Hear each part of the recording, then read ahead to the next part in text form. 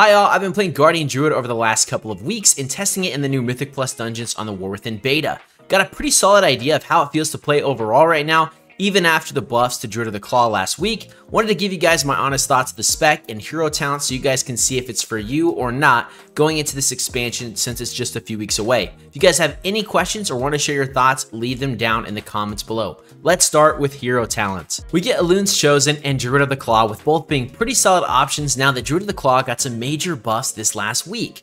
Elune's Chosen feels pretty damn overpowered though, and I think it's still the stronger of the two trees. Does require you to talent into Lunar Beam in the Spec tree, which summons a light from the sky, increasing our mastery, doing a ton of damage, and healing us over time. Boundless Moonlight gives us Leech equal to 10% of all damage we do to enemies within that beam. This leads to a very impactful heal and damage burst window every minute or less if we take Lunation, which is fantastic by the way. Our arcane abilities reduce the cooldown of Lunar Beam by 3 seconds. You pair this with the Light of Elune as well, we get a chance to summon down Fury of Elune, which does some astral damage over a few seconds and generates some extra rage. We can even grab Lunar Calling, which makes it so Thrash does arcane damage now, and its damage is increased. These nodes make it so we're getting Lunar Beam back incredibly fast, having it multiple times in boss fights, and basically every single pack. We've got quite a few other nodes that play, play into doing more arcane damage, generating more rage, and a node called Glistening Fur that reduces all magic damage we take by 3% and arcane damage specifically by 6%. I like our one utility node choice of Elune's Graces or Moon Dust to either slow enemies affected by Moonfire if we need to kite a little bit, or getting a shorter CD on Wild Charge.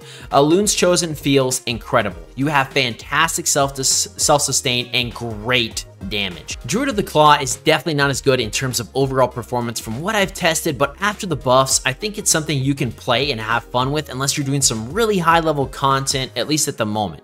Our main ability in this tree is Ravage. Auto attacks have a chance to turn our next Maul into Ravage, which is a hard-hitting arc slash that hits our enemies in front of us. You pair this with Dreadful Wound, and it does bleed damage over time and reduces the damage we take by those targets by 10%.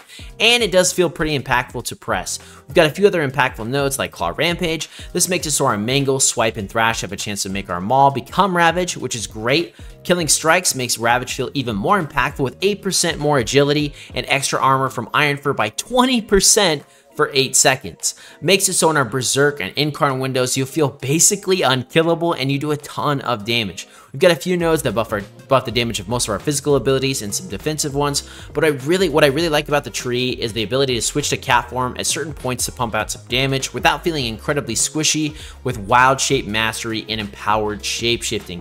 I think you really need to know the fights and windows to do this effectively so you don't die, which I don't yet in these Mythic Plus dungeons, but it'll be fun to test out more when the season drops. Our tier set is super, super simple, but it's great for both Druid of the Claw and Elune's Chosen. Our two set set buffs and reduces damage we take by 1 to 3% for 8 seconds when we use Thrash and Moonfire. 4 set increases arcane damage we do by 5% and bleed damage by 8%. I enjoy that this works well with both of the trees and they didn't make it for just one of them. It, it's awesome. Utility is great per usual. We've got Battle Res, Stampeding Roar, great mobility, Mark of the Wild, Incap Roar, Roots, Soothe, and Remove Corruption, which I'm telling you is going to be a huge thing in these dungeons for this next season. Our survivability is pretty damn incredible too. We have so many tools at our disposal to survive tough pulls with Bark Skin, Lunar Beam, Ravage, Incarnal Berserk, Survival Instincts, Renewal, and Frenzied Regen. Two charges of it. I have something to press usually for every pack, so many oh shit buttons, and a lot of defensives to deal with the mini and I mean many one-shot mechanics in these Mythic Plus dungeons. Guardian also has a lot of self-healing with, you know, Frenzied Regen, Lunar Beam, and Regrowth that make you almost feel like a prot pally when they were OP, or a Blood DK. We're big chilling going into the War Within. Overall thoughts of Guardian is that it's looking to be a very, very strong option for Mythic Plus and possibly even for Raid, especially since the other Druid specs aren't looking insane at the moment. From what I've played of the tanks, I would say it's definitely looking to be one of the top three, but we'll see how that shakes with tuning. Druid of the Claw is pretty damn fun. The buffs they added recently definitely helped, and it does feel like it has a lot of durability because of our hero talents and Ravage. Damage isn't quite as good as Elune's Chosen, but it's really fun to be able to cat weave in certain parts of fights and change up your rotation quite a bit. I think it will probably have a pretty high skill ceiling going forward, or at least knowledge of the dungeons. Or, you know, mechanics in Raid. Elune's feels overpowered still, and I'm down with it. Lunar Beam slaps, and there are quite a few packs where I have, if I have that up and Incarn, uh, I'm beating, I'm beating DPS and pulls, and I am not dying. Like it is incredibly hard to kill you.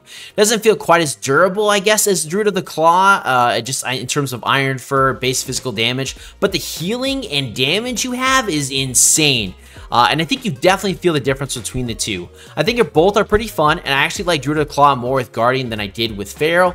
If you're looking for a tank that's pretty easy to pick up and learn, like being able to shapeshift, has a ton of responses to difficult situations, this is definitely the tank for you. Plus, having three other specs to choose from if you like to off DPS or heal is great too. Hope you guys enjoyed the video. I'll have a lot more videos covering different specs and classes and more for the War Within, so hit that sub button and keep an eye out for those. Thanks for watching, and I will catch you in the next video.